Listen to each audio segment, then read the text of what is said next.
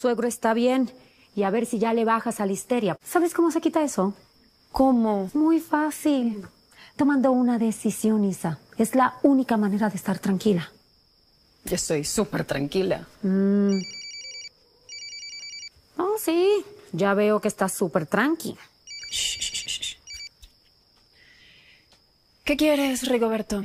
Estoy afuera de tu casa y si no sales, voy a tocar el timbre. Ay, ¿sabes qué? Es lo que quieras.